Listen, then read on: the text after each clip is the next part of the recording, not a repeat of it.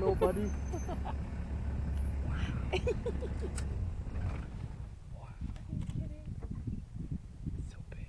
So our elephant most the to great um, American people, so don't worry. We're delicious.